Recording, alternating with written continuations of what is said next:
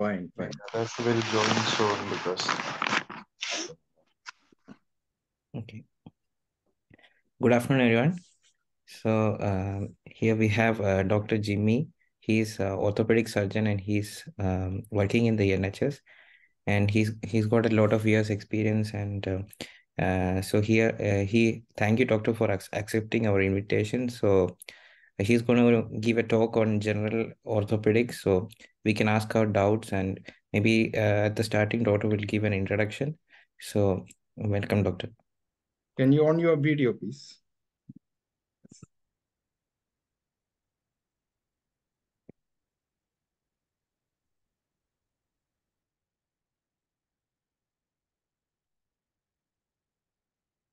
All right. Okay. Uh, thank you, um, the Orthopedic Society of uh, University, Bulgaria, and especially thank you very much to Alan Philip for introducing me and also for inviting me for, for this class. The Pleven University is uh, very much in my heart because my eldest daughter, Elsa Jimmy, studied there, and she and her uh, flatmate, Sherin, both of them are doing uh, clinical attachment in United Kingdom now. And Christina Jimmy is a third year student there at Pleven. And her uh, flatmate is uh, Neha. Okay, thanks again. As you know, the orthopedics is a very wide topic. Previously, many of the orthopedic problems were managed conservatively without surgery. Nowadays, the trend is to do more, more of it by surgery or operatively. But it also depends upon the experience of the surgeon, the setup, facilities, uh, affording power of the people, the country, etc. New and new techniques are coming into market and into orthopedic surgery as as similar to many other uh, surgical specialties and scientific modalities. Over the past 34 years, orthopedic surgery has changed drastically from splints, traction, plasters, bed rest, etc., to interlocking nails, arthroscopic keyhole surgeries, joint replacements, Uh, uh, advanced uh, deformity correction of the spine, uh, limb salvage, joint tumor surgeries, deformity correction using Ilizarov technique, limb lengthening, etc. So it is a specialty with many subspecialties, including hand and wrist, upper limb, shoulder alone, then uh, neck surgery, uh, spine surgery, pelvis surgery, lower limb surgery, soft tissue knee surgery, lower limb arthroplasty, pediatric orthopedics, etc. So, so there are so many subspecialties. Let's uh, start with fracture, which is the commonest problem. Pardon? Okay. If, if some of you can unmute, if all of you can unmute, and when the questions are asked, you can, I mean, unmute. Otherwise, you please mute. All of you please mute, mute, and when questions are asked, you can unmute and ask. All right. So fractures. Can you all hear me? Yes, doctor, we can hear you. yes, All right, yes. thank you. All right, okay. So for the latecomers, welcome uh, to the class. And uh, I think it is good afternoon to everybody. You know, Good afternoon, doctor. That's Thank wonderful. you. fracture is a break in the continuity of bone. That's the definition of the fracture. It could be due to trauma or pathological, you know, due to fall or our hand got hit on something, etc. So they are called traumatic fractures. Pathological because of the weak bones, because of infection or tumor or osteoporosis, that is weakening of the bone due to old age or vitamin D deficiency. Uh, fractures can happen. The fractures may be, as you all know, simple or complex, like a simple break. Or it could be compound, which means open fractures. Fracture that is communicating to the exterior is called an open fracture. Depending upon the shape of the fracture, the fracture may be simple or comminuted and also um, transverse. Wedge fractures then spiral, segmental, comminuted. So, so wedge means there's a wedge of bone. Spiral means it's broken spirally.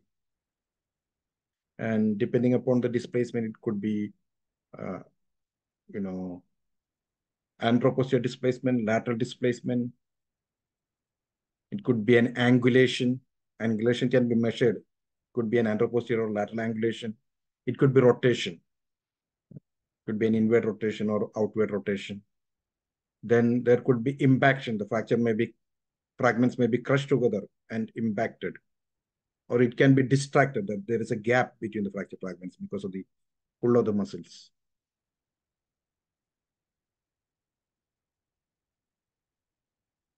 Then there are other types of fractures like stress fractures. When repeated micro trauma is given, the fracture happens after some days or weeks. For example, march fracture, where the soldiers who are not accustomed to long march and start marching, they get metatarsal fractures or calcaneal or even lower end of tibia fractures.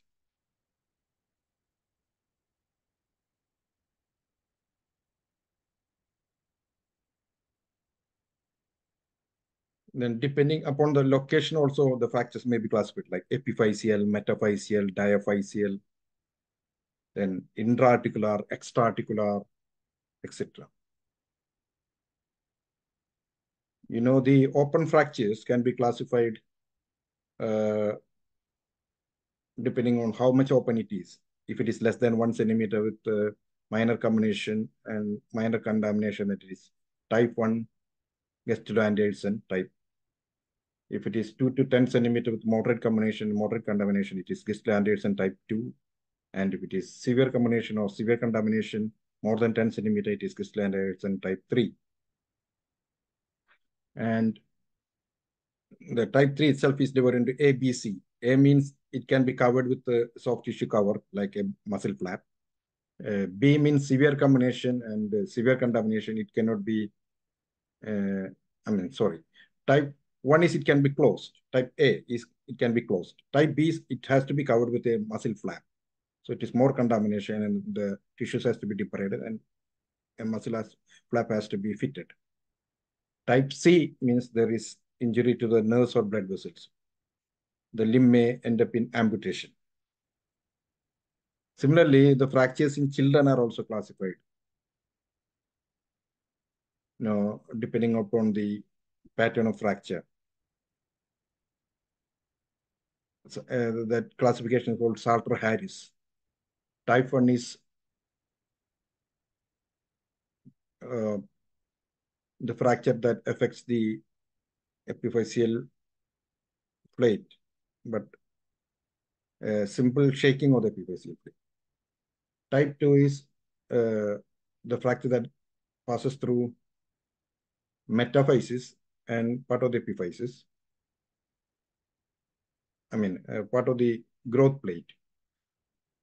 Uh, and a separate fragment can be seen that called Thurston-Holland sign.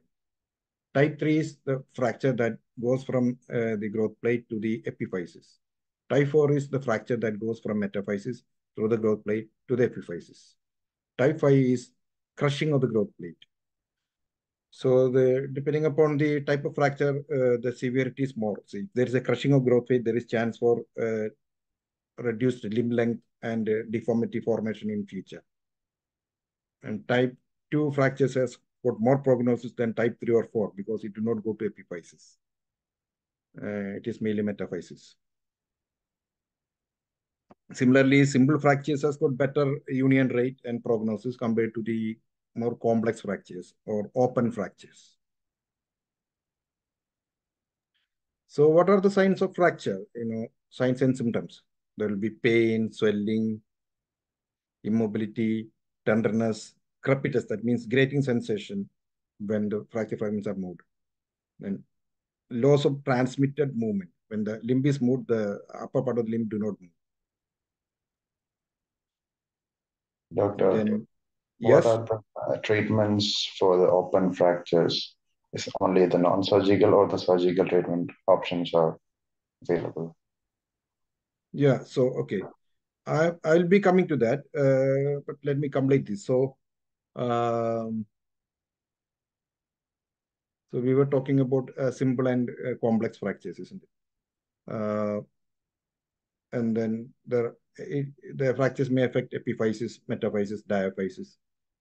So uh, depending upon that, the treatment is different. Depending upon the age, also treatment is different. Uh, we were talking about signs and symptoms of fracture. So the uh, signs and symptoms I told you. So what are the complications? The immediate complication is injury to nearby blood vessels, nerves, or tendons, or it can become open. And then compartment syndrome. What is compartment syndrome? Increase in the pressure in the closed osteofascial compartments of the limb. Uh, th that can press upon the nerves and blood vessels inside that particular compartment. For example, forearm has um, volar and dorsal compartments, um, and uh, the uh, leg has anterior, lateral, and superficial and deep post posterior compartments. So in this each compartment, it is covered by fascia and bone. So the muscles or uh, will uh, will get less blood supply if the pressure increases and pressure upon the nerves or blood vessels.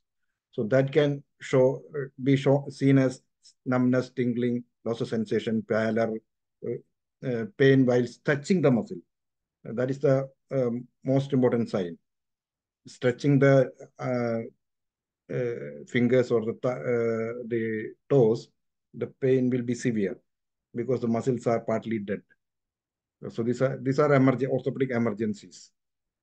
Um, so compartment syndrome, then fat embolism, thromboembolism. Uh, these are all, uh, or fracture can end up in dislocation. So the long-term problems could be because of the change in the shape of the uh, joint, for example, if it is intra-articular arthritis, the stiffness of the joint. Then if it is open fracture, it could be osteomyelitis. Uh, as I told you, in children, it could be growth disturbances. It could be, you know, when the bone forms in the muscle, that's called uh, Volkmann's ischemic contracture. There will be severe contracture uh, there could be long time pain that is a pain syndrome. Chronic pain syndromes can happen because the fracture may not unite fracture may unite in a wrong position. There could be deformities. So all these uh, osteoporosis. Okay now you were asking me about uh, the management of the uh, open fractures so open fractures management depends upon the contamination and the classification, as I told you, the size of the wound. If it is a simple uh, open fracture, then we can wash it and close it. But if it is uh, moderately contaminated, as I told you, type 2, then we have to debride it, wash it. Uh, we have to use some 2 liter saline to irrigate it. You know, dilution uh, reduces infection. Then uh, we may, if there is a muscle deficiency, we may have to take the help of the plastic surgeon and close it with the, the help of plastic surgeon with flaps, which is a um, type 3 fracture. Then sometimes, uh, you know, we have to do extensive debridement and then second stage surgery. The limb has to be temporarily immobilized with external fixator instead of plate and screw. And then antibiotics, we have to give antibiotics, especially penicillin for uh, uh, wound that is contaminated with uh, mud to prevent tetanus and tetanus immunoglobulin and tetanus injection. And then generally, if it is not very contaminated, it could be cephalosporins and vancomycin and gentamicin. So if there is too much, you know, like agricultural dust, then we have to use uh, metronidazole.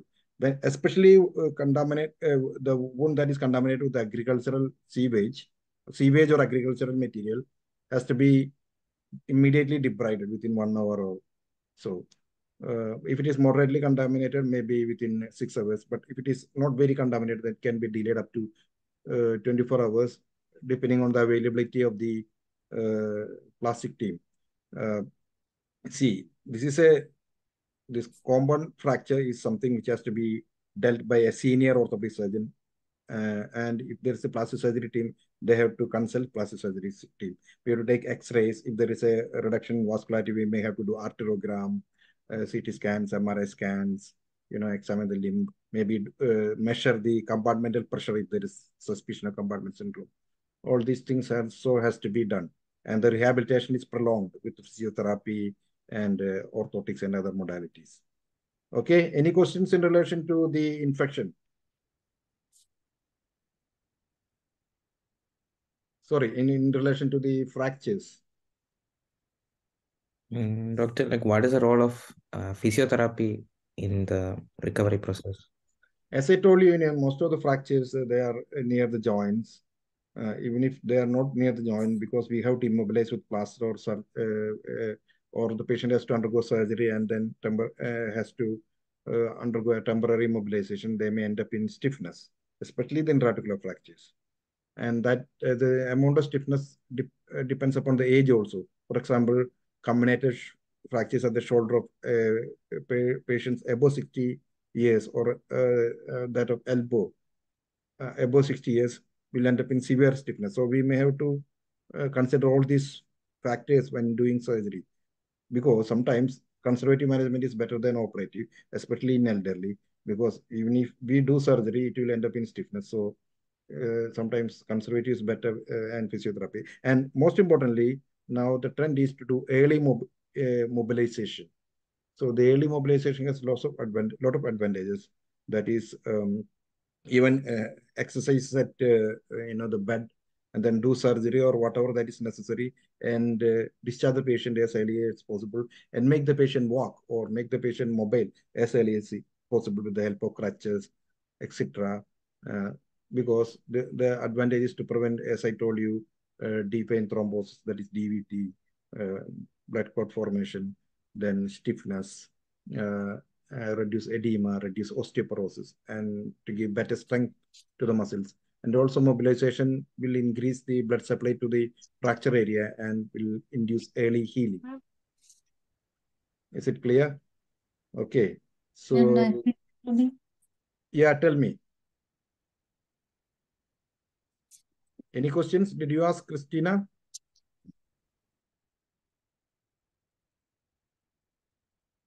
Any more questions? Okay. Can you hear me? Yeah. Okay.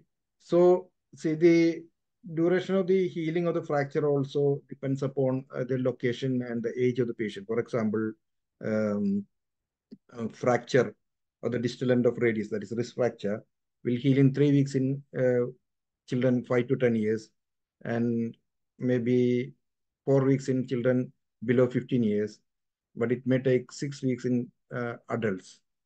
Similarly, for example, tibia fracture. In children below two years, it may heal in just three or four weeks. And in children, it may take, say, six to eight weeks. And in adults, it may take even four years. So there are some special fractures where the vascularity is compromised. For example, fracture neck of femur in elderly above 60 years may not unite. So we may have to remove the head and then fit in a process is called, uh, you know, uh, or Austin Moore prosthesis or some implant, Thompson's prosthesis, to act as head of the femur. Uh, but if the patient is active and uh, uh, say between the age of 60 to 75, then it's better to do total joint replacement because the hemiarthroplasty or partial joint replacement can end up in wear and tear after two years with pain. So if the patient is active, it's better to do total joint replacement instead for example, scaphoid fracture, there is less vascularity in some areas. So it's a small bone, but it takes some four, four, year, four months to unite. And some part of the scaphoid, especially the proximal fold, the vascularity is low. So we have to fix those fractures early identify them early. Another is talus fracture, where the vascularity is um, minimal. So we have to fix them properly. So, and another is management of fractures. You know, the intraarticular fractures has to be reduced perfectly uh, to prevent uh, irregularity inside the joint surface, which may lead to osteoarthritis later on. But extraarticular fractures, the main thing is to get a reasonable alignment, whether it is by surgery or by plaster. But um, um, to early mobilize the patient to prevent stiffness, etc.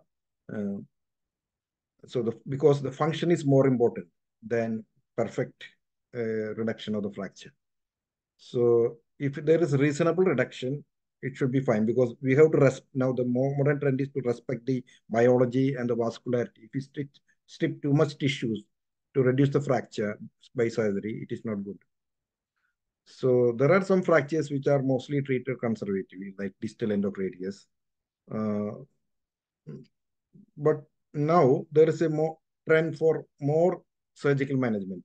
And there are certain fractures which can only be treated surgically. For example, as I told you, fracture neck of femur. Another is fracture patella, which is separated because of the pull of the quadriceps. We have to bring it down and do tension band wiring. For example, another is fracture olecranon. That is separated because of the pull of the triceps. We have to bring it down and then fix it with plate if it is comminuted. Otherwise, tension band wiring. Fracture angle, if it is displaced and the angle joint dislocated, we have to reduce it and fix it because these are small bones at the tip of the uh, tibia and fibula, you know, medial and lateral malleolus. It will be, it, these are unstable inside the plaster. So we cannot treat them with plaster. We have to treat them with uh, uh, surgery only. And then plaster treatment also, if the part, fracture is semi-united, we can change it over to braces. For example, humerus fracture.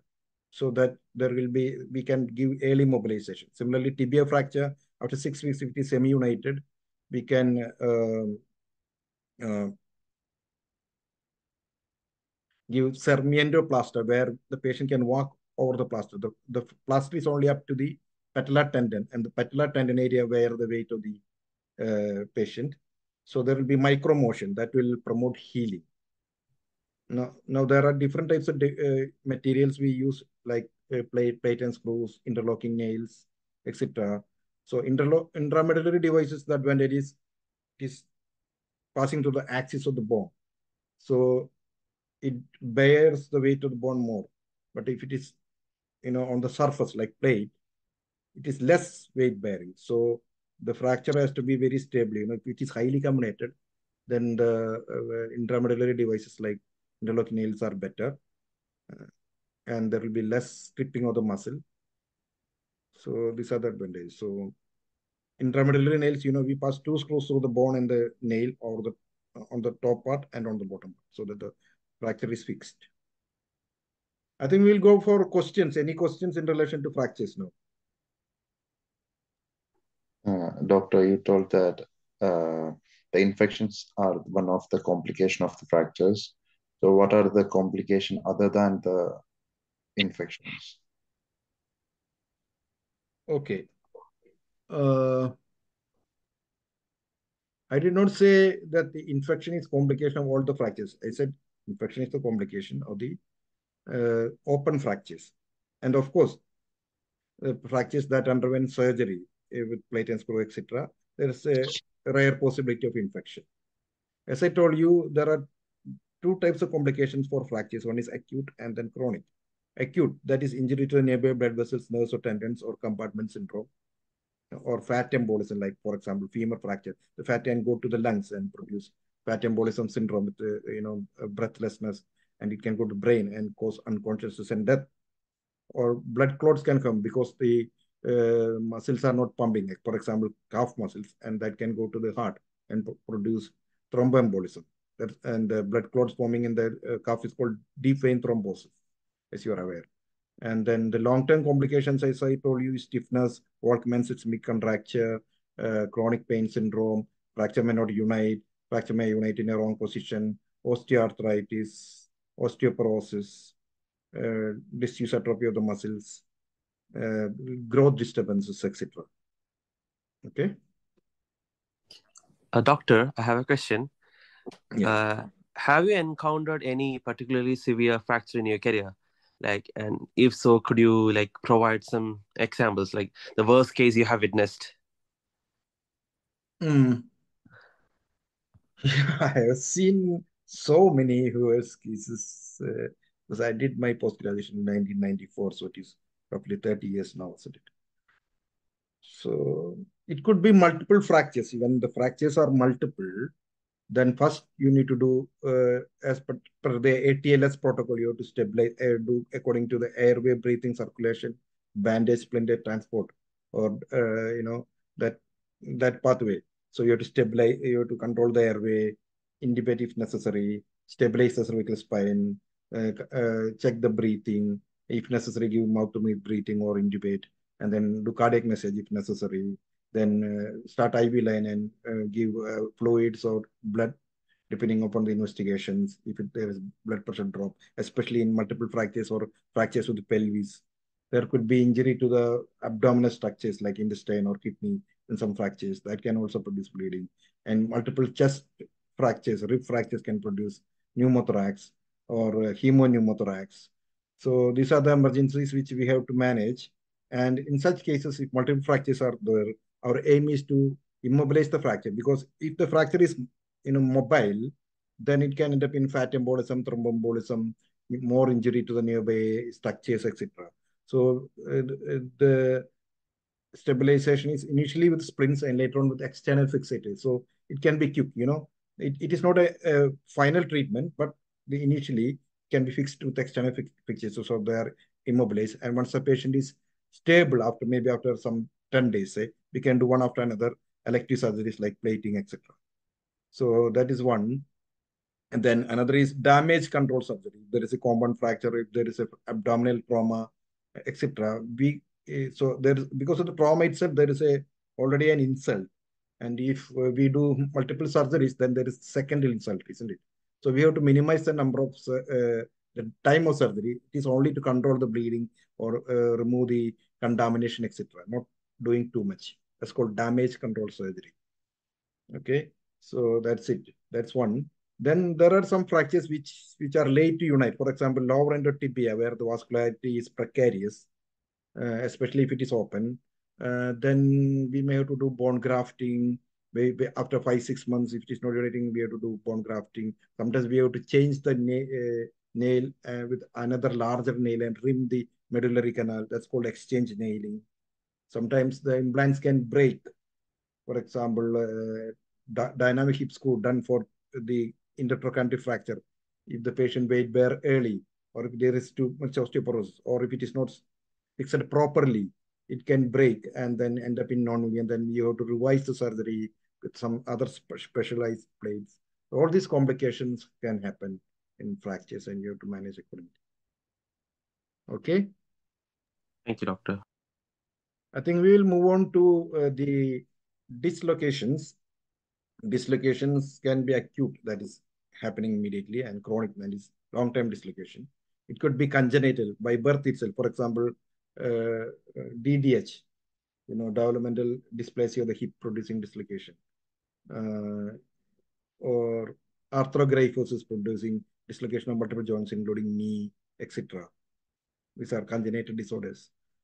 Then traumatic, for example, after playing shuttle tennis or uh, football, patient fall and then develop dislocation shoulder, especially anterior dislocation. You know, anterior dislocation is common for shoulder and posterior dislocation is shoulder for uh, common for hip, and posterolateral dislocation is common for elbow.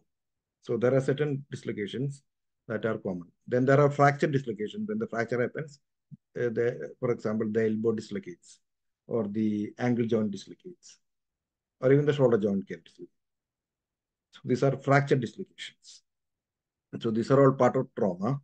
And then uh, there are recurrent dislocations. For example, shoulder can, once it is dislocated, the muscles around the shoulder joint called rotator cuff, that is below the deltoid. That's good. These rotator cuff muscles are supraspinatus, infraspinatus, latissimus dorsi, and teres minor. They can rupture and, and the capsule also can tear. This uh, and also there could be minor fractures called Hill-Sachs lesion in the head of the humerus. This can predispose for further shoulder dislocation. Then the patient has to undergo shoulder stabilization surgery. Arthroscopically, there is a procedure called Latarjet procedure in which the acromion process is fitted into the uh, neck of the anterior neck of the uh, scapula. Um, or the uh, the capsule has to be uh, tightened, etc. Or the rotator cuff muscle has to be switched by keyhole surgery or by open methods. And recurrent dislocation of patella that can happen because of the uh, uh, multiple, because it may be because of generalized ligamental laxity or at, at particular age, like 10 to 20 years, especially in women because of the hormonal changes. Uh, it could be due to multiple other causes like change in the shape of the uh, quadriceps mechanism, the pull of the quadriceps mechanism, change in the Q angle, change in the trochlea of the um, femur, uh, the change in the height or shape of the patella, etc., or change in the pull of the medial or lateral collateral ligaments of the knee. So if it is recurrent, even after doing quadriceps of vastus medialis obliquus exercises, then it has to be treated surgically by, you know, changing the alignment with the shifting of the tibialis, tibial tuberosity more downwards, or uh, tightening of the lateral structures, sorry, medial structures and uh, loosening of the lateral structures to prevent dislocation, etc. So it depends upon the uh, location also. And dislocation say high. What is dislocation? Dislocation is the displacement of the articular surfaces of the bone. Partial dislocation is called subluxation. So dislocation is a highly painful pro problem. It is more painful than fracture, and it has to be reduced immediately within an hour or so. Otherwise, it can end up in more problems like injury to the nearby blood vessels, nerves, or tendons. Injury to the nearby blood vessels, nerves, or tendons. Um, then, uh, you know, stiffness. Uh, it may it may not be able to be reduced if it is left for a long time. Then we have to do open reduction instead of closed reduction. So, um, you know, there's certain dislocations ends up in particular type of complication. Like, for example, shoulder dislocation ends up in injury to the axillary nerve, you know, where the regimental band has less sensation and deltoid muscle paralysis. And Anterior shoulder dislocation can produce uh, uh, femoral nerve paralysis. Posterior shoulder dislocation can produce sciatic nerve. Um, elbow dislocation can injure the uh, posterior interosseous nerve or sometimes ulnar nerve, depending upon the position of the dislocation. So this is also true for some fractures. For example, fracture neck of fibula can produce common peroneal nerve injury. Okay, supracondylar fractures commonly produce uh, anterior branch of the median nerve injury. That is anterior, anterior interosseous branch. Uh, so depends upon the location. Certain fractures are notorious for non-union. For example, um, lateral condyle fracture of the elbow can produce cubitus valgus deformity and non. So as I told you, lower end of the tibia. Uh, similarly, certain dislocations also has more complications. For example, hip dislocation can end up in avascular necrosis of the head of the femur, uh, which can later lead to osteoarthritis. So more, some dislocations are more serious than others. For example, finger dislocation we can reduce and strap under local anesthesia. Uh, most of the dislocations are reduced under sedation. If not possible to be reduced under sedation, then the patient has to be taken to the theater and uh, uh, has to undergo emergency close reduction. If that also fails, then open reduction. Okay. So any questions in relation to this? Can you hear me?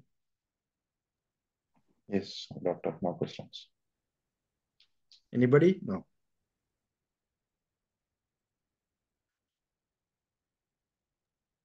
Doctor, is there any like prevention methods to uh, prevent like joint dislocations who already had dislocations before?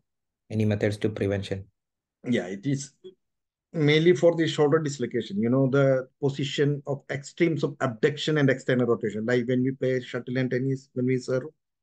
So that is the position where it dislocates. In such patients, when we examine, when we try to make extremes of abduction, external rotation, they will have apprehension feeling. They will tell it is going to dislocate. Similarly, patella also, if you try to move laterally, they will have apprehension. That's called patella apprehension test. Uh, so these are the elbow. It, doesn't normally end up in uh, dislocation, but yes, patella can. So that they have to avoid uh, uneven surfaces and uh, they have to do the quadriceps exercises and stuff. Um, okay, hip uh, normally dislocates because of the severe trauma, not like fall from a tree or something, not not because of ordinary trauma. So it do not, it is not usually recurrent. All right. Any questions?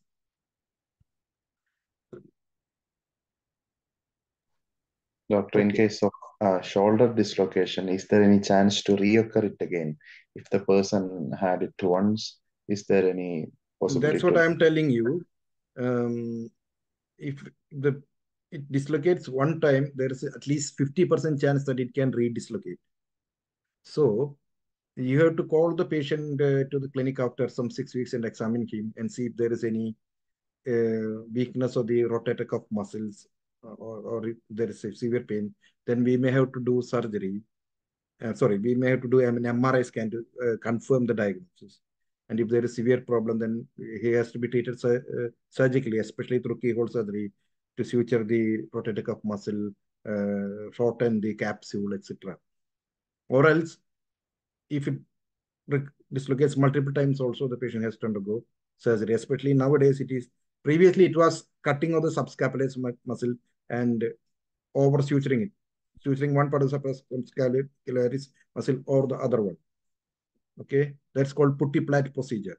But nowadays, it is instead of that, uh, changing. I mean, taking the part of acromion process along with the, the muscles attached to it. You know what are the muscles? That is uh, the pectoralis minor and one more muscle. So along with the muscle, it is taken and then it is screwed to the trough in the uh, neck of the scapula, anterior neck of the scapula, so that uh, it it acts as a muscle sling. Okay, so okay, the subscapularis is also attached to uh, the acromion process. It acts as a sling. All right. So let's move on to infection then. Uh, you know, infection can be due to hematogenous causes. Uh, uh, or due to surgery acutely. So acute infection can be due to uh, from blood or by surgery after plating, etc., or after an open fracture.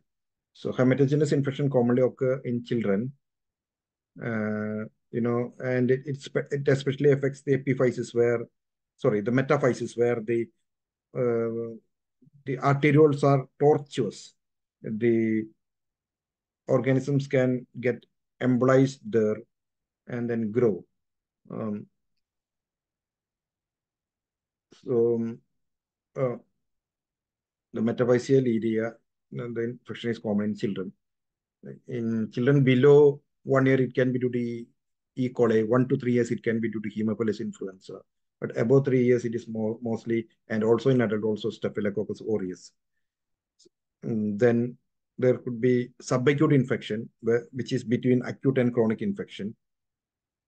It is of different type, like it could be just early infection, it could be the metaphyseal area, according to the classification. Let's say classification for that. It could be the metaphyseal area with onion ring formation. It could be the epiphysis. And then it could be diffuse. Similarly, chronic oste osteomyelitis also can be classified according to Cierney and Mader as uh, early, then superficial, sorry, early is medullary actually. It affects medulla. Then super, superficial, that is superficial cortical. Then uh, um, deep cortical and then diffuse.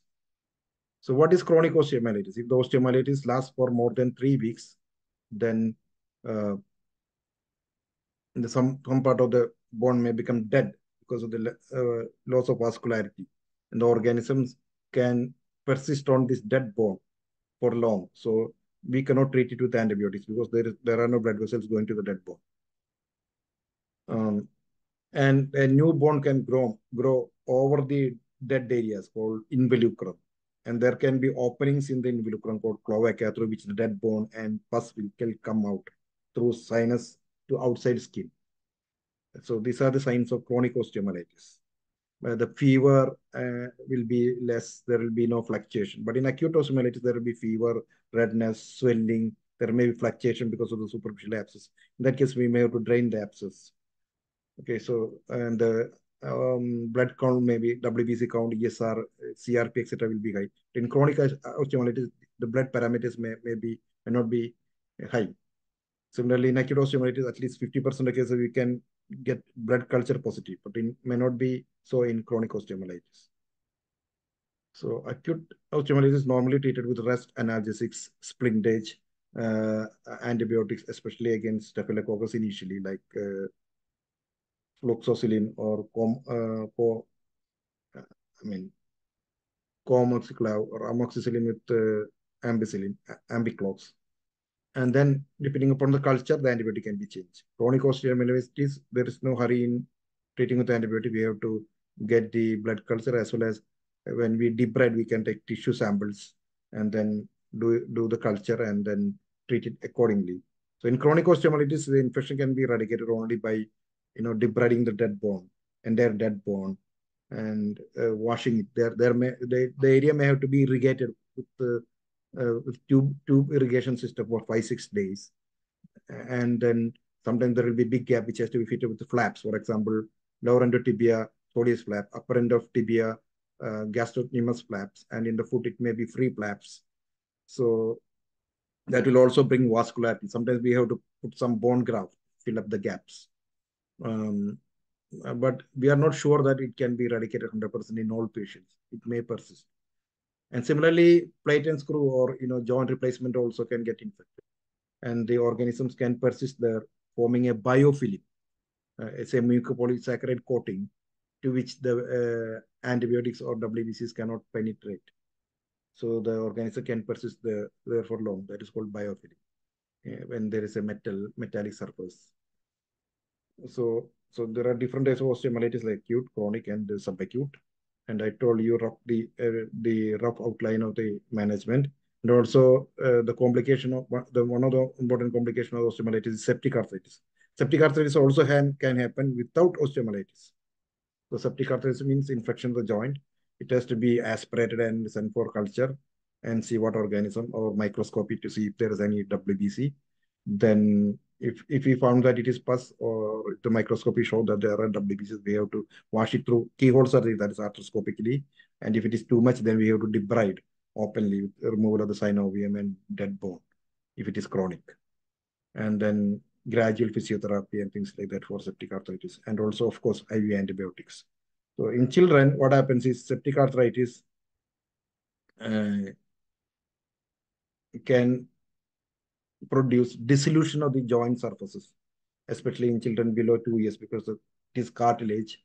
Uh, and uh, you see, also if there is a osteomyelitis of the metaphyseal area uh, in uh, children above two, two to four years, uh, the organisms cannot penetrate the growth plate. But since uh, there is no barrier below two years, it can end up in uh, septic arthritis and dissolution of the hip bone, then limb length discrepancy and growth problems in future.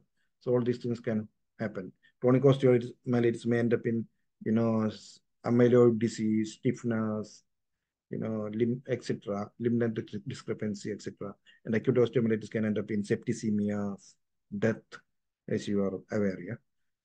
So these are the any questions on infection, bone infection. Can you hear me? Yes, doctor. I think we are clear with uh, infection. All right. Okay. Hmm. Now, another is osteoporosis. You know, so it is 151. Okay. So, osteoporosis, what is osteoporosis? Decrease in the bone material, isn't it? That is called osteoporosis. decrease in the bone mineral is osteomalacia. Osteomalacia can be of different types like rickets in children and osteomalacia in adult. Osteoporosis normally is, uh, uh, it can be primary or secondary. Primary osteoma that is uh, can be due to uh, old age, that is elder, um, that is elder, otherwise called elderly osteoporosis. That is because of the generalized decrease in the growth hormone, mobility, and function of the bone marrow, uh, uh, and other hormones. Uh, but there is post-menopausal osteoporosis after for, uh, 50 to 60, 50 years, where there is, this is due to the withdrawal of the estrogen hormone that uh, that is required for uh, bone formation. So that post-menopausal osteoporosis is more severe than gradual or slow osteoporosis of the elderly type. Um, then secondary causes of osteoporosis can be due to steroid, long-time steroid, uh, you know, intake. It could be due to immobility uh, because of the fractures. It could be due to paralysis, for example, stroke, and patient is immobile. Uh, it could be due to some bone weakening disorders like sickle cell anemia or thalassemia, uh, etc. So it can be due to multiple causes, uh, the osteoporosis. There are certain, syndromes that can also produce osteoporosis. You know, the many hormones are required for bone formation. For example, bone mineralization is supported by calcitonin and mobilization of the calcium uh, from bone is by parathormone.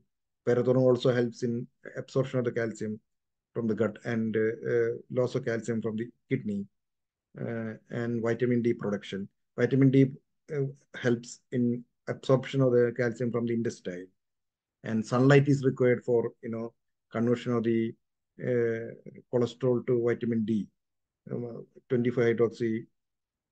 Um, I mean, uh, the vitamin D pre-metabolite, and the liver function is required for conversion into 25 uh, hydroxy D, D2, and kidney function is required for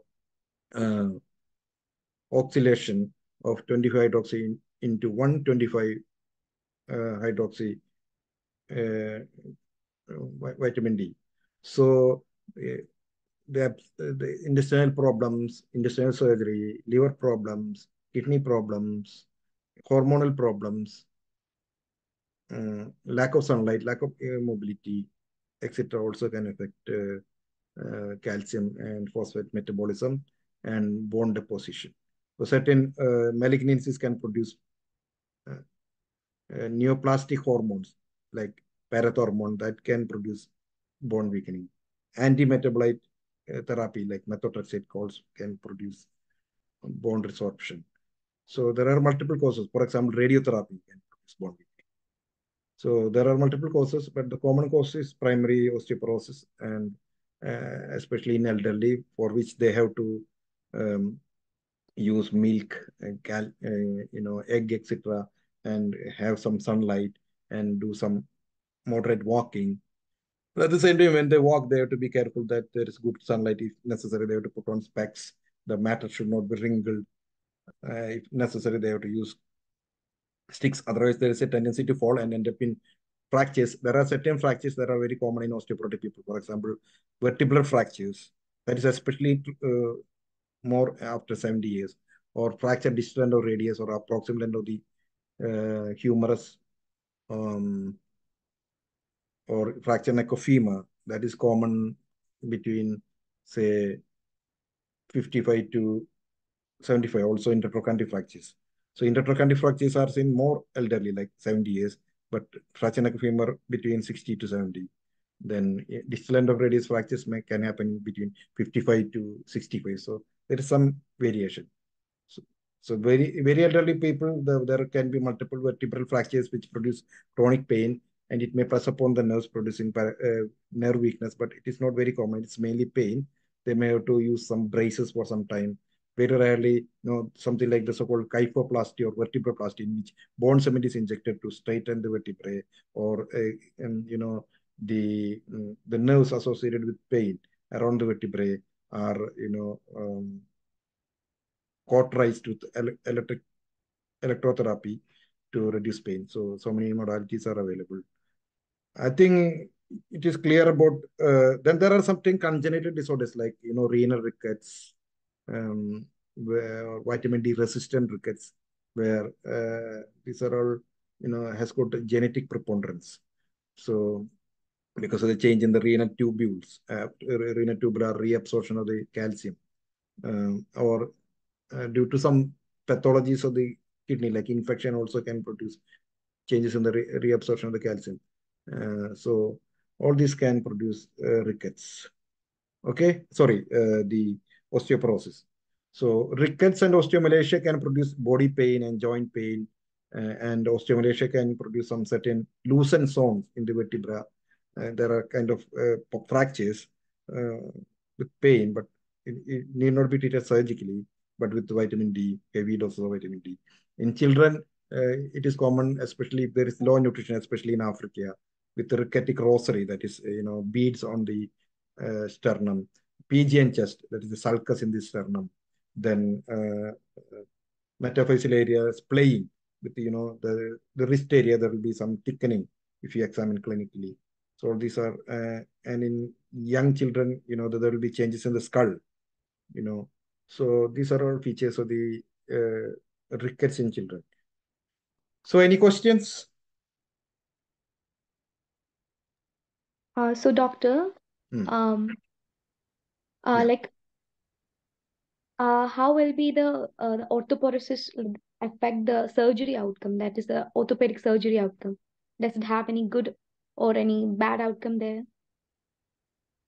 Uh, in relation to the uh, osteoporosis. Yes.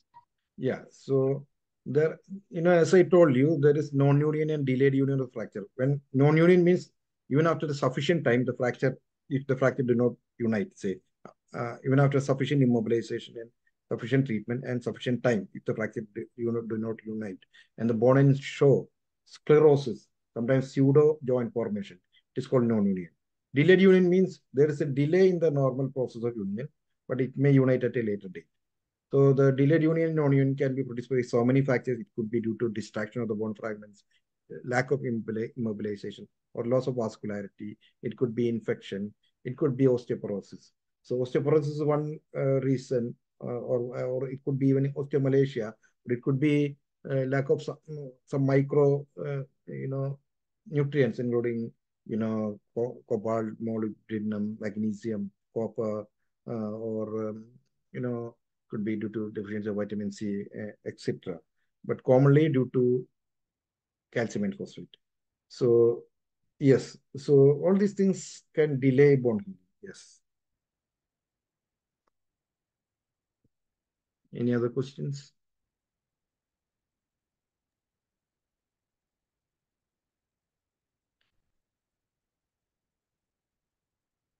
So I think now we will move on to arthroplasty. I think I heard that some of you are interested in uh, joint replacement. So before which I need to talk about the, the osteoarthritis and different arthritis. You know, the, our joints can be affected by arthritis, that is inflammation of the joint. It could be uh, due to wear and tear of the joint, that is the osteoarthritis, or it could be uh, inflammatory arthritis. Uh, inflammatory arthritis uh, could be of the uh, of different type like the commonest one is rheumatoid arthritis where there is pannus formation vessel formation inside in, in the synovium and that destroys the joint gradually because of the autoimmune process in which uh, our body immunity acts against our own body surfaces especially synovium uh, or tendons or tendon sheets, producing inflammation, stiffness, pain, uh, fluid collection, etc. And later on, uh, so then, um, so in rheumatoid arthritis, there can be later on deformities of the hand and tendons may rupture, less function of the hand. So the commonly rheumatoid arthritis affects uh, the knee and hand. So rheumatoid arthritis initially starts with the metatarsophalangeal joint. That is classical rheumatoid arthritis. Then there is gout. in which uh, there is increase in urate crystals, maybe because of alcoholism, obesity, or so many other reasons, or maybe uh, meat intake or uh, fish, dry, especially dry fish intake, or it could be due to some congenital things. So it could be due to multiple reasons, but uh, these can these can affect uh, you know uric acid production. It could be due to some congenital uh, disorders uh, affecting xanthine oxidase enzyme, uh, uh, which produces increased xanthine oxide, which can produce urine deposition. So uric acid normally affects the first metatarsophalangeal joint of the, uh, you know, of the big toe, producing inflammation. Then it, later on, it can affect knee, ankle, bursa, uh, like uh, tibial tendon uh, bursa or uh, olecranon bursa, etc. And there could be tophies, collection of the urate crystals on under the skin, like uh, tumors, and that's called uh, tophies. So, so second is gout. Then there are some rare uh, arthritis like SLE, sickle cell anemia, sick, I mean SLE, uh, systemic lupus erythematosus, or myofibralgia producing uh, along with arthritis. So, and some congenital disorders producing arthritis. So this um, osteoarthritis itself, the, the wear and tear, as I told you, that's the commonest one. In UK, I think 85 lakh people are affected by osteoarthritis per year. Around um, 3 lakh people are affected by rheumatoid arthritis and 1.5 people are affected by other type of arthritis. It's a very common uh, disabling problem. So osteoarthritis itself is a primary osteoarthritis without any cause, especially that happens in elderly because of the wear and tear. Uh, you know, there will be, pathologically speaking, there will be synovial inflammation, there will be loss of cartilage, then there can be, you know, cysts formed in the uh, metaphyseal region of the bone, and there could be overgrowth of the bone called osteophyte, and then later on end up in stiffness and pain and immobility. So, it, uh, so in India, mm, the knee joint is more affected, but in Europe, it is more, more of hip joint. So both these areas arthroplasties are done. Then it could be due to some other pathology. It could be due to death of the bone. Uh, for example, avascular necrosis of the hip, hip uh, you know, the neck of the femur or head of the femur. It could be due to alcoholism or some certain uh, fat depositing disorders like thalassemia or Gaucher's disease, uh, sickle cell anemia, radiation, uh, Caisson disease, that is people going to the deep waters and coming up quickly can produce, uh, you know, bubbles in the jaw, uh, blood vessels that it's producing death. So there are multiple causes. It could be even fracture, for example, talus or scaphoid, as I told you, less vascularity. When there is a fracture, can end up in uh, avascular necrosis. All these things later on can lead to uh, osteoarthritis, or for example, it could be due to congenital deformities or Perthes disease, uh, which can later on form make the head deformed, producing osteoarthritis at a later age, uh, or uh, cubitus varus or uh, valgus or coxa vara, or uh, you know the knee varus or valgus. So all these things can change the uh, transmission of the body weight to the knee or hip or elbow, etc., producing wear and tear in one particular part of the uh, bone. So it can be treated by joint replacement or osteotomy if it is because of the change in the alignment. Uh, you know, you can correct the bone deformity that can uh, make the bone transmission axis uh, in a different way so that, you know, the uh, affected area can be healed. Or if it is early, we can treat it with physiotherapy, body weight reduction, analgesics, anti-inflammatory medications. If it is severely painful, we can use steroids. But if the steroids are used multiple occasions, after three, four occasions, then it may later on lead to increased uh, osteoarthritis.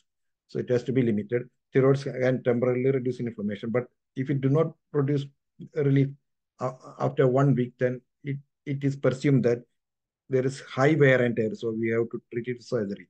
If it produces relief for say six months, then probably the patient, once the pain is less, the patient can continue with physiotherapy and then the pain may not recur. Uh, or weight reduction, etc. Activity modification, including use of sticks. Uh, unless there is severe wear and tear, um, we do not do joint replacement because joint replacement is a very major surgery. it has its own complication. Let us move on to the treatment of rheumatoid arthritis. You know, rheumatoid arthritis, there are anti-inflammatory drugs, then steroids, non, non-steroidal anti-inflammatory medications, and then later on steroid medications, and then disease-modifying drugs like methotrexate or leflunomide, and then bioactive drugs are also available, which uh, work on the leukocytes to prevent autoimmunity. Um, and then, then there are splints, certain surgeries for deformities, tendon transfers. For gout, as I told you, you can use uh, oxidase inhibitors. Initially, when there is acute attack, you can use colchicine and anti-inflammatory medications. Uh, for chronic, you have to use this one. And then food modification, like reduction of the meat and dry fish, etc. Um, and for osteoarthritis, as I told you, uh, there are multiple modalities. So of each arthroplasty, what is arthroplasty? That is replacement of the joint with the artificially, isn't it? It can be uh, uh, due to artificial means, or it can be uh, uh without artificial implants, like you know debridement of the, uh, irregular bone and synovium, and sometimes excision, for example, excision of the head of the femur. And so that the, the, the neck of the femur hits on the um, gluteus medius muscle. So there will be less pain, but there will be some waddling when you walk and less, some weakness, but the pain will be relieved.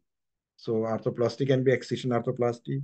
It can be, you know, or sometimes you see we can fuse the joint. For example, uh, the for example finger joints or thumb or the toes. If it is painful, we can fuse it. But when function is required, it is better to do arthroplasty uh, especially if the patient is active. You know, so arthrodesis is done, even knee arthrodesis is done in patients who are young and who are uh, who are manual laborers. Because when we do joint replacement, patient cannot do manual labor or sportive activities. They can do day to day uh, normal activities, but not do too much sport or uh, manual labor. Um, so it is, uh, but it is a very pain relieving and gratifying surgery, joint replacement, because now there are more, more and more modern materials and techniques coming into the market. Okay, so the arthrodesis is normally done in young, also done in young people, because the joint replacement can get loosened after 15 to 20 years. So we have to do a second surgery after 15 to 20 years. So uh, so it is normally kept for elderly people, say above 60 years. But if it is very severely painful, sometimes it is done early. But normally it is uh, the normally uh, the total hip and knee replacements are done, and they are very rewarding surgeries. But there has to be bone and bone um, erosion. That means the bone above the joint and below the joint are very close together. That much erosion and it is highly painful for the patient and the patient is not able to do day-to-day -day activities. And BMI, you know how BMI is calculated? That is height in meter square divided by, uh, sorry, uh, the body weight. Uh, so if BMI is, I mean, the body weight divided by height in meter square, body weight in kilogram. So if the BMI is above 40 normally uh, the joint replacement is not done. The patient is advised to reduce the body weight. Uh, there are many techniques of reducing body weight. One is diet another is abdominal surgery uh, third is liposuction uh, then fourth is exercise. Then if it is between 35 to 40 uh, you know the blood pressure blood sugar cholesterol etc are checked and it has if it is high it has to be rectified Later only the patient is taken for surgery. If it is below 35 or 30, then definitely the patient can undergo joint replacement. Because if the body weight is high, then there is more chance for loosening and uh, failure of the uh, joint replacement. So before the surgery, the patient has to do some physiotherapy to improve the movement. And then patient has to undergo whether the patient is fit for surgery because it may take some two to three hours. And um, after the surgery, also patient has to gradually mobilize with uh, initially uh, the patient can put full weight on the next day, but the driving is allowed only to six weeks. And full activities are, are allowed only after three months. Mm. So, so there has to be assistance with the physiotherapy and blood thinners has to be used after the surgery to prevent blood clotting. For example, Clexane, uh, that is, uh, you know, enoxaparin uh, or some other blood thinner. Uh, because blood clots can come from in elderly if they are immobile. So that's another. So what are the complications of uh, joint replacement? It could be uh, immediate or delayed. So the immediate complication could be infection, injury to a nearby blood vessels, nerves, or tendons. It could be DVT. Uh, it could be early infection. Could be hematoma, bleeding, non-healing or the surgical site, etc. So um, dislocation can happen early. Delayed complication also the joints can dislocate for example, hip joint dislocating, uh, or it could be fracture, periprosthetic fracture if the patient falls, and if there is osteoporosis. It could be infection. Infection with implant is a bad thing. Sometimes, if it is early, we can wash it and debride it. But if it is late infection, then probably we have to remove the implant, then uh, do debridement first. Uh, that uh, it has to be done in stages, two stages.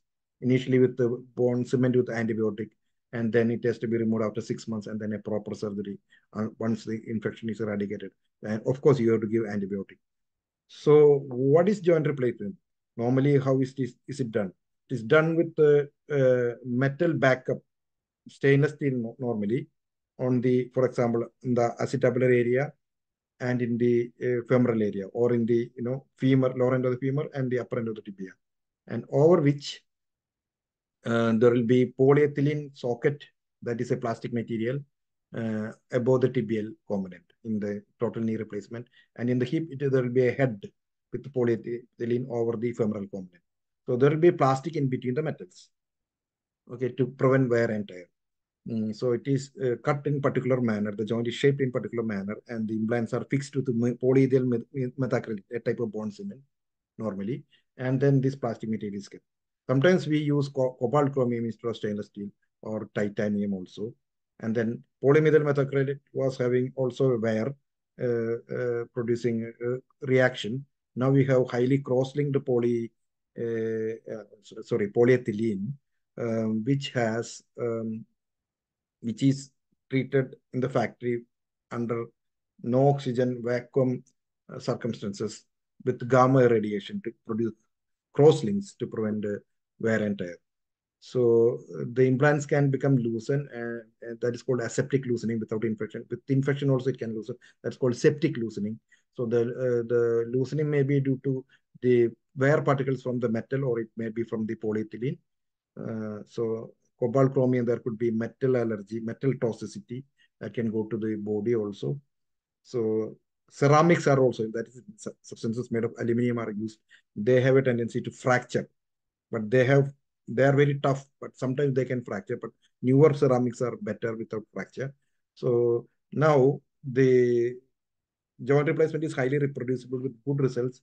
Say i would say 90% of the result over a span of 15 years for for the patients 90% of the patients. And 75% uh, uh, of the patients are happy even after 25 years. So highly rewarding but we have to be careful. And the patient selection is also very important. And patient has to do certain things like you know, physiotherapy, and uh, you know, they have to uh, be assisted by occupational therapist to how to transfer at home with sticks and things like that. Any questions on this?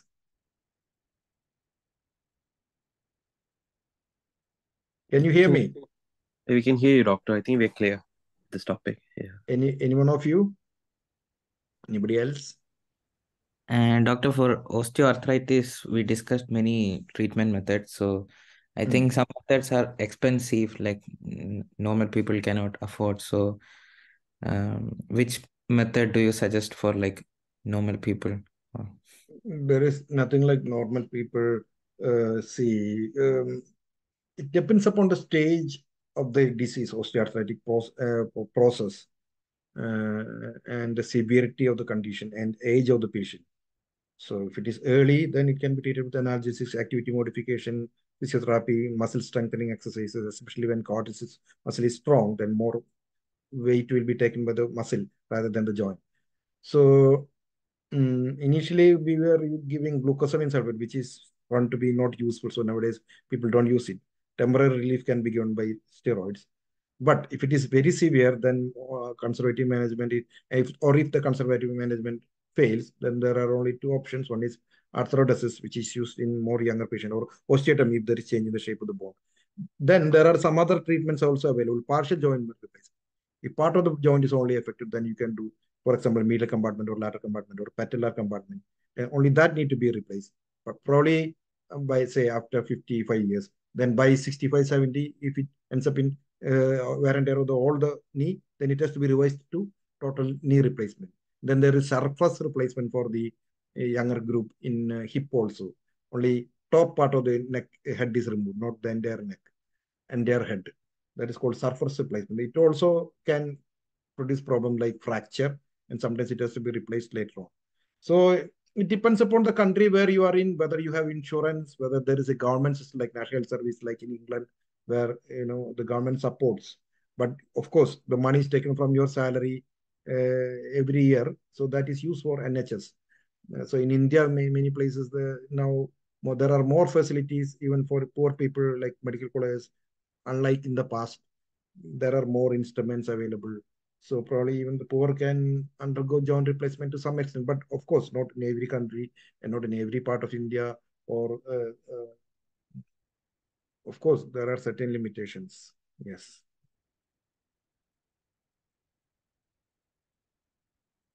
Any questions?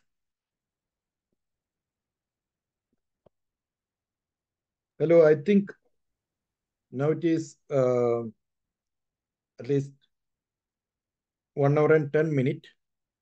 Now there are some other topics. Um, low back pain, uh, osteoporosis, frozen shoulder, then sprain, sports injuries including arthroscopic surgeries, work-related problems including tennis elbow, foot problems including plantar fasciitis, hand problems including carpal tunnel syndrome, and accident care, muscle and tendon injuries, orthopedic cysts and tumors, deformities including congenital deformities, orthopedic problems in children, plastering, steroid injections, braces, and physiotherapy.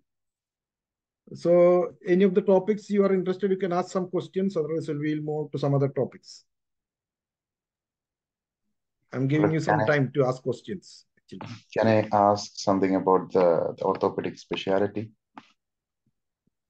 Like, as a hmm. final medical interns, we are keen to explore various specialties. What inspired you to choose the orthopedic surgery and and what advice you would give to students like us who are considering this field? Okay, orthopedic surgery is something where you cannot, you know, sit like a, a scientist and then do some research and or like sit in a clinic and see patients and go home.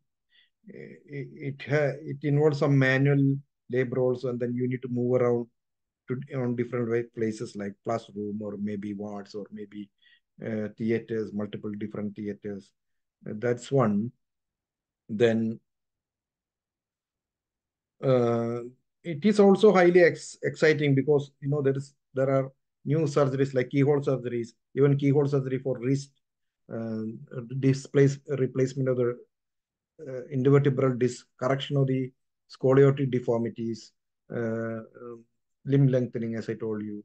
Joint, um, the entire femur can be replaced with mega prosthesis nowadays because of the 3D printing, you know, but there are problems with it. But uh, the limb salvage surgery with specialized uh, chemotherapy and surgery, limited surgery, you can save the limb. Uh, so there are multiple subspecialties, as I told you, like shoulder, elbow, etc., foot and ankle. So each subspecialty has its own new new things coming. So it is uh, uh, evolve. It's a highly innovative field, and high technology is applied, like computer assisted joint replacements, um, computer assisted spine surgeries, robotic joint replacements, robotic spine surgeries. And then the, there is a new research where you can use, you know, mosaic cells, uh, that is cartilage cells implantation to the uh, damaged joint, uh, artificial, I mean, the synthetic disc, etc., can be fitted. Artificial bone graft, bone uh, uh, is available, uh, you know, calcium, hemihydrate calcium sulfate artificial bone graft. So all these things um, are available. So um, and new and new techniques are coming every day, especially arthroscopic uh, techniques and other techniques. So you need to update yourself uh, by undergoing many workshops, seminars, conferences. So it is a highly exciting field and it is highly rewarding for the patient or the Patient who is suffering for a long time is rewarded or patient who is dying because of multiple fractures or other trauma. The, it is highly rewarding. But at the same time, it has its own pain of long-term training. Uh, you know, you may have to have struggle in theater sometimes with some type of fractures and, you know, especially revision joint replacement when the joint is infected and you have to change it to a new one.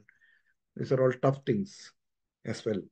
So it depends upon your interest. Uh, uh, but if you are not ready to do hard work and easygoing, then you may have to opt for some other profession or some other specialty rather than orthopedics.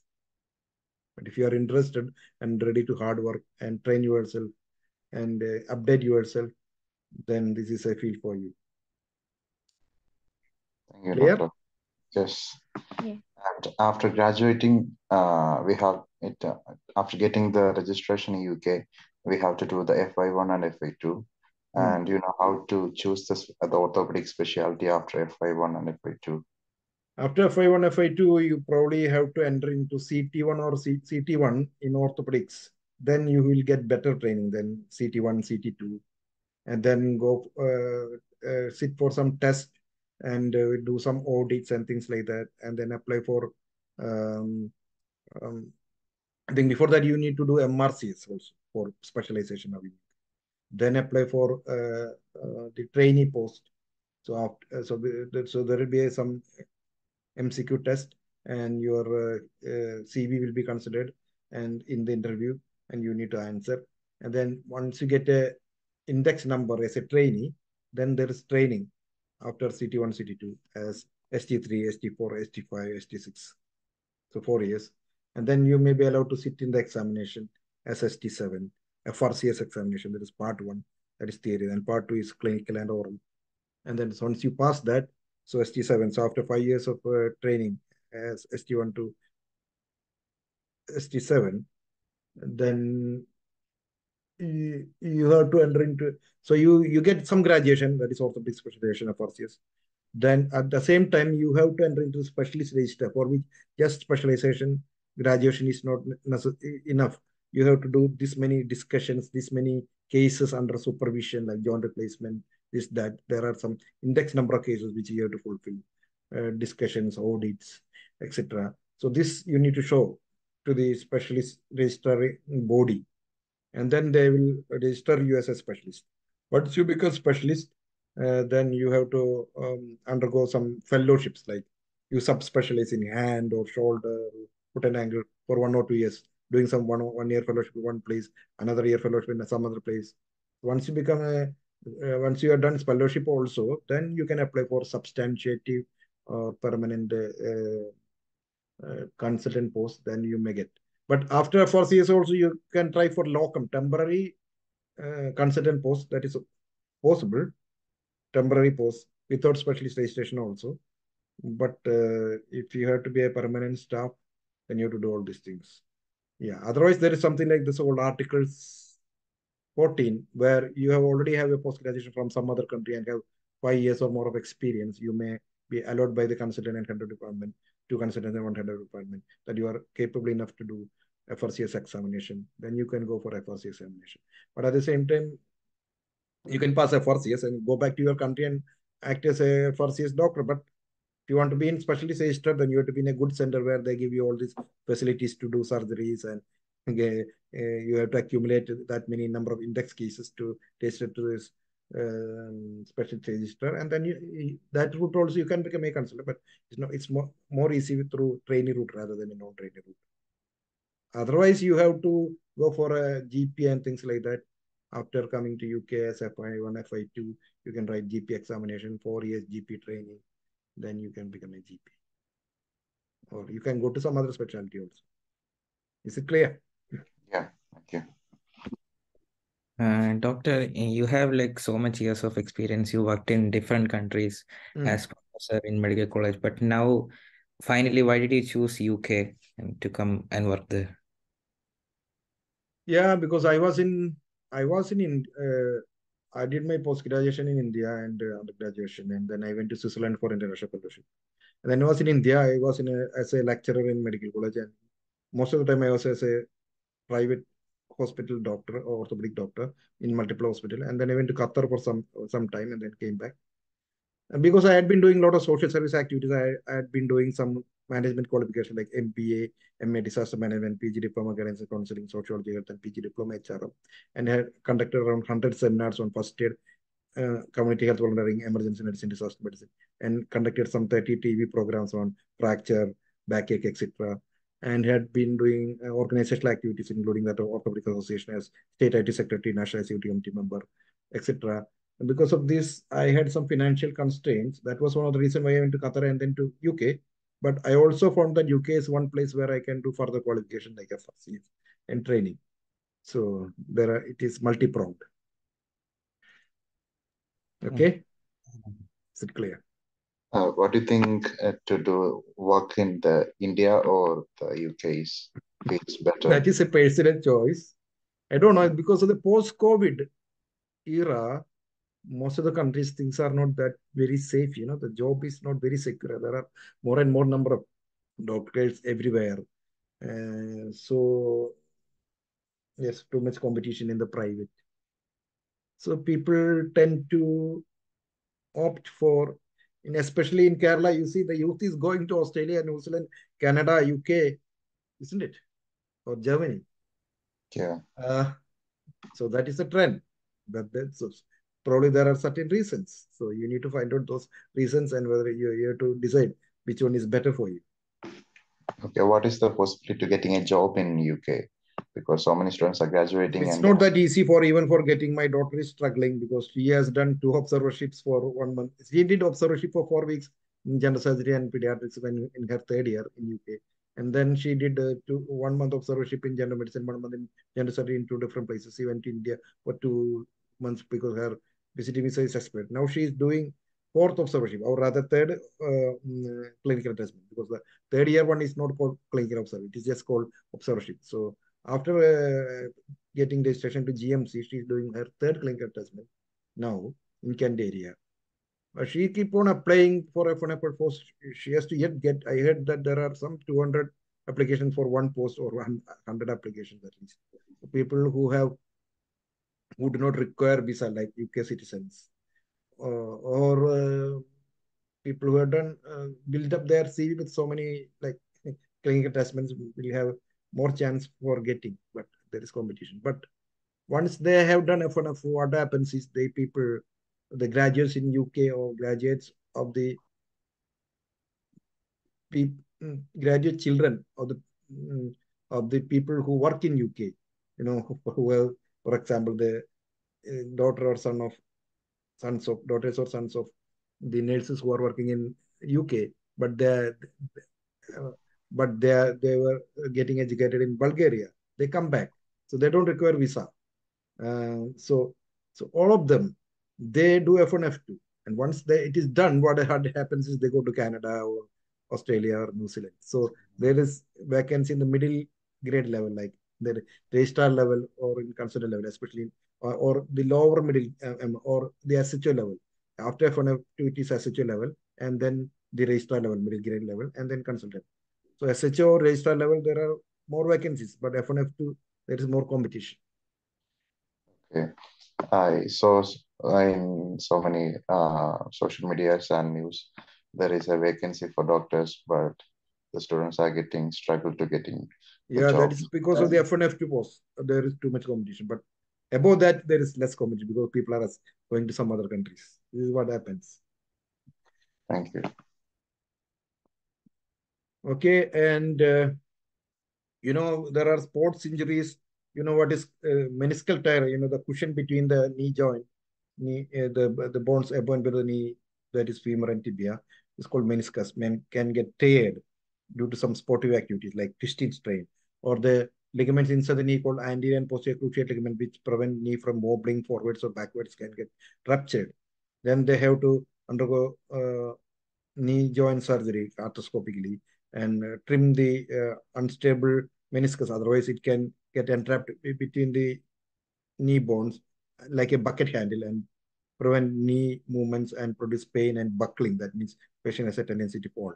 And the ACL tear also can produce instability and later on osteoarthritis, uh, especially in uh, people who are very active. If the patients are not very active, then probably we can uh, subject the patient on physiotherapy, activity modification, braces, and they may continue without any surgery. But active patients, we have to do surgery for ACL uh, uh, rupture.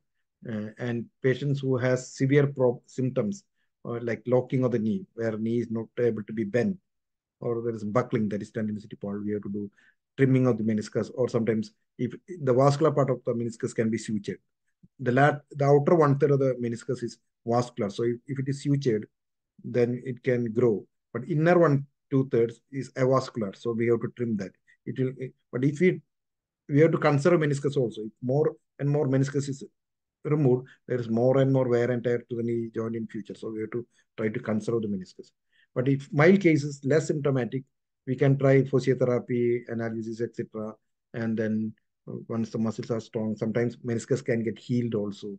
So these are the common sports injuries that happens.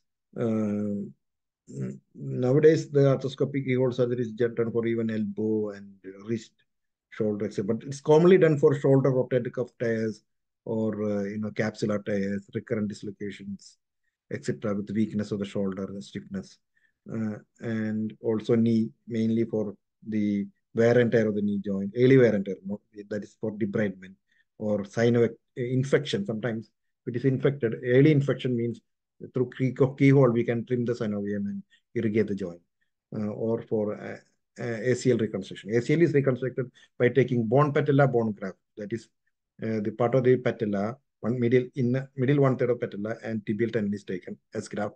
And key holes are made in tibia and femur at the position of ACL, and it is fixed with the uh, screws and uh, sometimes button uh, arthroscopically. Uh, sometimes we use semitendinosus muscle as a graft, the ten, tendinous part of semitendinosus, and uh, fold it into four parts, uh, four folds, and then it is fitted. So that is ACL reconstruction. PCL also can be reconstructed that way. Um, these are some of the common uh, arthroscopic surgeries. Any questions? Doctor, I have a question. Mm. Uh, my friend, he had a uh, closely completely uh, ACL tear. So is it advisable to do surgery or uh, physiotherapy? What do you think as a doc doctor specialist? So that's exactly what I described to you. That depends upon the activity of the patient. If it is, um, if he is not sporty and only office work and things like that, and a trial of physiotherapy is tried, and if he is comfortable and less symptomatic, then we can continue to try and conservative. But as it depends upon the age of the patient. If it is, you know, like say above 55, then probably uh, physiotherapy and later on, if required, you can do the patient can undergo joint replacement when there is more wear and tear after 65 also. But if it is a younger patient, then it's likely that the patient is going to have more uh, lifespan and more activity. It's better to do uh, ACL reconstruction, and especially if it is symptomatic also. You understand? Okay, doctor. Yes, doctor. Uh, and also, doctor, regarding a herniated disc or slip disc, like what might be the complication? Okay, yeah. So the herniated disc uh, can happen acutely because of the sudden bending and weight taking, but that is very rare. It is more, normally due to age-related uh, chronic degeneration of the uh, disc. Uh, there is a nuclear pul pulposus that is in the center of the disc and annulus fibrosus that's outer part of the disc. So the outer part of the disc, uh, uh, you know, forms fissures through which the nuclear pulposus escapes. And this nuclear pulposus can produce inflammation inside the subdural space or epidural space, uh, producing pain. And also the herniated disc sometimes, nor normally it is herniated in the posterolateral area, sometimes in the central area. Uh, normally it is in the posterolateral area press upon the existing nerve roots. You see at each level of the vertebrae, there are 33 vertebrae, one nerve root exits the, the, the spinal nerve roots. It can press upon the spinal reduce, producing weakness of the muscle supplied by the spinal nerve or radiating pain, numbness, tingling, or loss of sensation. So, you know, the spinal cord ends at L1, after which we have only uh, uh, roots, no spinal cord. So, L1 to uh, as sacral level, when the uh, disc, you know, displaces in, uh, it affects only roots, producing root symptoms. But higher levels, especially for example, neck, can press upon the spinal cord, producing upper motor neuron symptoms also. So when there are upper motor neuron symptoms, we have to do the surgery earlier because the muscle weakness may persist, uh, um, may not come back if it is not done early. You know, there are certain signs for upper upper neuron symptoms uh, which we can elicit, find out if there is pressure on the spinal cord, not only the nerve roots. But in lower limb, it's mainly the roots that is affected. And the commonest uh, problem is L4, L5. The second one is L5S1. And in the cervical spine, it can be C5, C6, C6, C7. It's commonly C5, C6. But the cervical disc prolapse is not that common compared to the lumbar disc prolapse. And cervical disc prolapse surgery, the disc surgery is done through from, from the front of the neck by retracting the carotid sheath and taking out the disc. And sometimes we may have to fuse the disc if it is uh, with the cage or a bone graft. And if it is multiple disc level, we, we are removing multiple disc, then the it has to be plated also to prevent instability. There is a uh, thoracic spine, the disc prolapse is very rare. Sometimes it can produce thoracic radiating pain. And in the lumbar disc prolapse, if it is severe, and if it is not relieved after uh, a long time physiotherapy, and there is persistent weakness and loss of sensation, and the MRI scan shows that particular area uh, is the area of problem in uh, where the disc presses upon the nerve. Root, then we the patient has to undergo uh, disc surgery. But along with that, um, But yeah, uh, doctor, but uh, they're saying that after surgery, like uh, they are only giving 50% chance for like uh walking or running. They're not sure the patient will walk. So in case of that, what uh what will you advise to do? no, the the walking and running is not fully affected because of this problem per se. Paraplegia, that is transection of the spinal cord at one particular level, can produce a paralysis of the entire lower limb. Or stroke, stroke can paralyze one part of the body, you know, when there is blood clot in the brain. But disc mainly press upon one particular area, uh, like uh, say, for example, when there is affection of the uh, L4 root, there will be weakness of the ankle dorsiflexion. When uh, L5 root is affected, uh, the uh, toed plantar flexion is affected. And when S1 root is affected, the ankle plantar flexion is affected. When L2, 3, 4 roots are affected, the quadriceps weakness with the knee extension is affected and uh, L1, L2, L3 is mainly inner thigh and anterior thigh. There is less of sensation. L4 it is the inner leg. L5 it is outer leg, and uh, L5 also the dorsum of the uh, foot, and S1, S2 it is mainly the sole of the foot where, where there is loss of sensation. So it's not like weakness of the entire thing. And not only that, you know, 70 to 80 percent of the cases uh, over a span of some months, uh, the pressure on them nerve will reduce as the this material degrades. So there will be um, uh, less weakness and the condition improves with the conservative means. If it is not improving only, we need to do surgery. The running, jogging, I don't think the, the trend is to mobilize the patient as early as possible. Because a patient with low back pain problem, if it is bedridden, then it can become chronic. So we have to mobilize the patient with physiotherapy and encourage them to walk and uh, gradually run if necessary, but not immediately. But you know, that in the olden times it was long time uh, traction in the bed for two months. That kind of a treatment is not given now because that can produce disuse of the muscle and exacerbate the problem. So it is early mobilization. So I don't think there is any big problem for walking.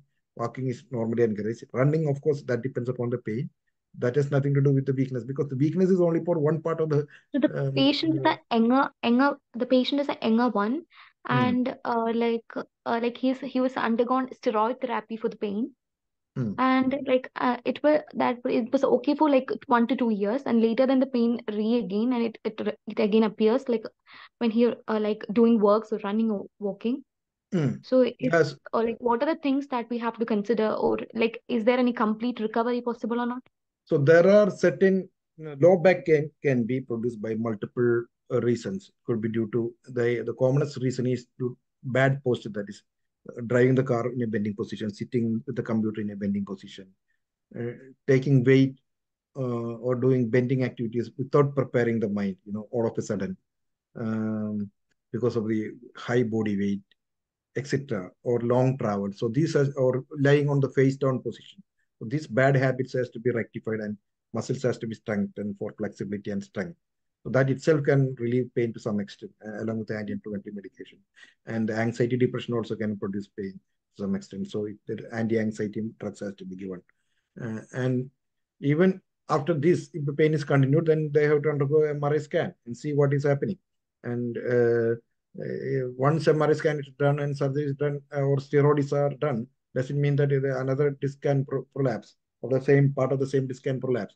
So we have to do another MRI scan and see where ex exactly. And the patient has to initially do physiotherapy and things like that. Uh, and if it is severe and if it necessary, he has to undergo surgery. Sometimes along with the, it may not be necessarily due to disc problem. It may be, you know, there may can be inflammation of the synovial membrane in the facet joint or there can be wear and tear of the facet joints, uh, or you know there can be osteoporosis of the muscles. The low back pain can be due to so many different causes. It can be pain, radiating pain from gallbladder, from intestine, from bladder, um, from kidney, from you know even from skin, for example. Um, so um, the viral infections can produce herpes zoster, uh, or it could be due to abdominal aorta dilatation that is uh, aneurysm of the aorta. It could be due to some nerve problem. We need to find out what exactly is the cause. Most commonly, as I told you, bad, bad posture. Just because of there is inflammation of the uh, joints, um, uh, we can't do uh, spine surgery unless there is specific reason. Spinal surgery is not rewarding. So it, the the surgery has to be very selective. So along with spine uh, disc surgery, sometimes if there is instability of the spine, for example, slipping of the L4 vertebra or L5, we have to fuse that part that is called spondylolisthesis. Or if there is a, a reduced space in the spinal cord, uh, then that is called spinal canal stenosis. Uh, that patient, after walking for some time, has to stoop to relieve pain and numbness. So then they have to remove some lamina to increase space to that spinal cord. So we have to find out the reason with, with the, by doing CT scan, MRI scan, clinical examination, and uh, do accordingly. Okay. Thank you, doctor. Thank you so much. I think, doctor, we can wind up the session. It's all right. Okay. Yeah. So, uh, extend my heartfelt thanks to uh, Dr. Jimmy Lonappan uh, for the time. Uh, like we are grateful for your you know time and effort for the dedicated to sharing your knowledge and um, yeah, with us, and it's a it's a great honor for for us you to for us to have you, and uh, we especially thank you know students who have actively participated and um, their contribution was valuable. And your presence, Doctor, your presence made this event truly memorable. And we look forward to you know more such enlightening session in future. Thank you once again. Thank you once again from uh, our society, Orthopedic Society from Pleven. Thank you so much. Yeah, okay. One minute. So if you have any queries, you can um, uh, go to my website where my contact details are. That is doctorjimmy.net. It is very easy to remember. D-O-C-T-O-R J-I-M-M-Y dot N-E-T. Or you can uh, contact me by my WhatsApp number. That is uh, the UK code 0044 and then 7470605755. I repeat, 7470605755. And also my email address is there, Jimmy ML, J-I-M-M-Y ML, M, ML, you know, ML, Jimmy ML 2000, 200 at gmail.com. Jimmy ML 2000 at gmail.com. So any of them means you can contact me. And thank you all the students for your patient listening. Especially I thank Alan Philip and Muhammad Riaz for such grand welcome and thank thanks note and organizing this. Thank you very much to all of you. And may my regards to everybody. Thank, thank you. you. Thank you, everyone. Thank you, everyone. Okay. Thank you, Doctor.